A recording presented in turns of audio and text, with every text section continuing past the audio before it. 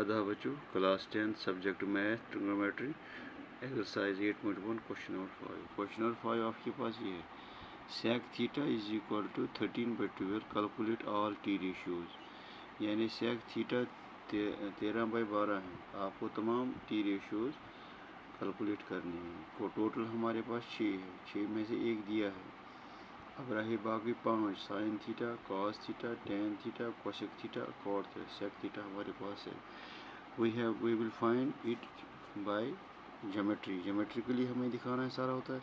अगर हम करेंगे, पहले हम ट्रायंगल बनाएँगे।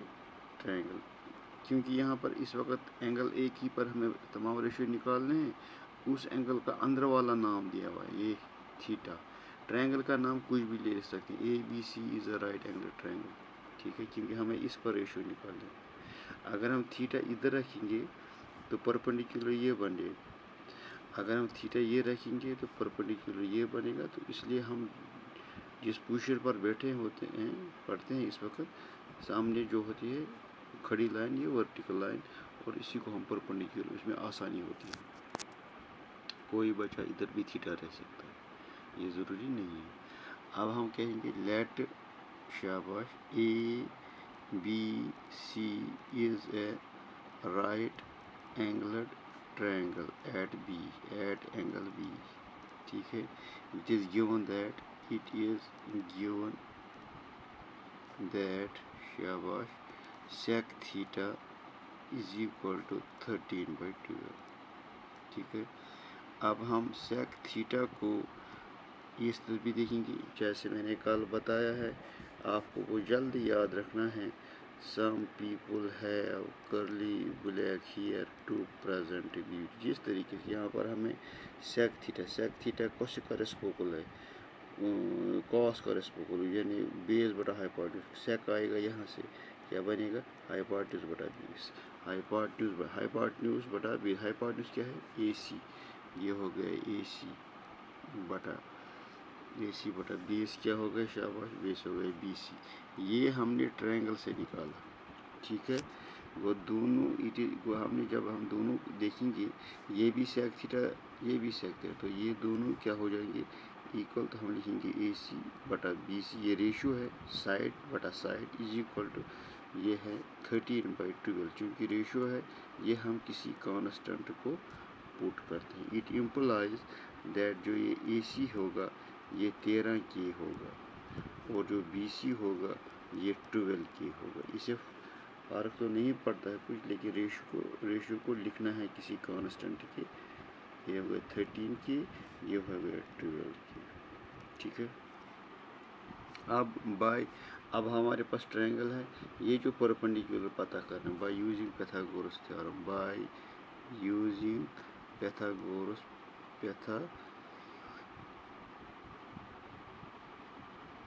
Pythagoras theorem ठीक है? पैथागोरस थ्योरम के हाइपोटेन्यूज का स्क्वायर वो ए सी का square is equal to B C का स्क्वायर प्लस ए बी का स्क्वायर ठीक है? अब यहाँ पर ए सी का स्क्वायर जो है सॉरी ए सी कितना है? Thirty thirty three one six nine के square is equal to B C का स्क्वायर बारह बारह, एक सौ चौवालीस के स्क्वायर प्लस ए बी का स्क्वायर सो ए बी का square is equal to one six nine के square minus one forty four के स्क्वेयर क्योंकि रेशियो साथ है। तो यहाँ पर क्या आएगा?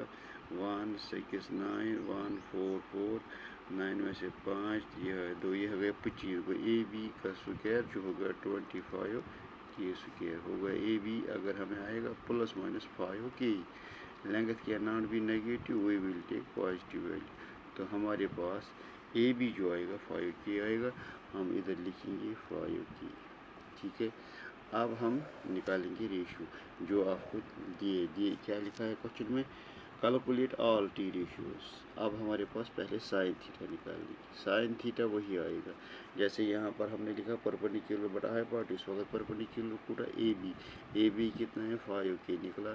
हाइपोटेन्यूज कितना है? थर्टीन की के वन जाए के ये कर फाइव बाई थर्टीन अब कास थीटा जो है, ये मैंने एक परसों बताया।